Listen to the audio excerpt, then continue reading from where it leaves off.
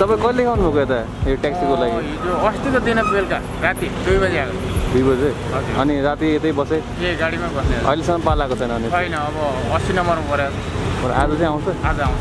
Symptom त एकदम खराब छ हजुर खराब। यो एकै ठाउँ गर्नुपर्ने यहाँ प्रदूषण गर्छ जाँच पास हजुर। अब पार्किङमा हाल्नु पर्ने पार्किङको चाहिँ घन्टाको पचास रुपियाँ दरले लिने।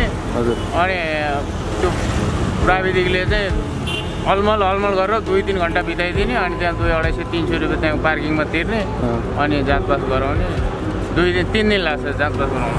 अनि अब दुई दुई तिन बजीतिर पालो आउँछ होला मेरो आज ए भने चाहिँ आज दिन यतिकै? आज पनि यतिकै।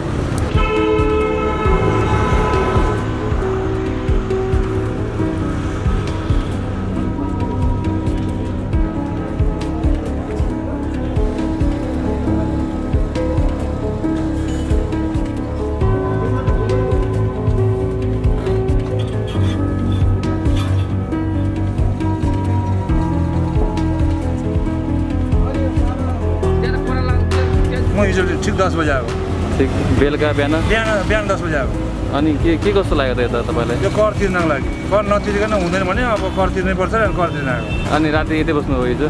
राति यतै बज्यो अनि यहाँ चाहिँ कस्तो छ व्यवस्था? दिनको कतिवटा चेक गर्दो रहेछ? एक सय पचासवटा। एक सय पचासवटा। साढे एक बजे सिद्धिन्छ त्यसपछि त्यतिकै बसिरहेको छ। हप्ताको दिन मात्र सुने तिमीले हप्तामा दुई दिन मात्रै मङ्गलबार बुधबार मात्रै। गऱ्यो भने तिन सय दुई सय पचास तिन सयवटा गाडी सिद्धिन्छ तिन सयवटा गाडी सिद्धिन्छ।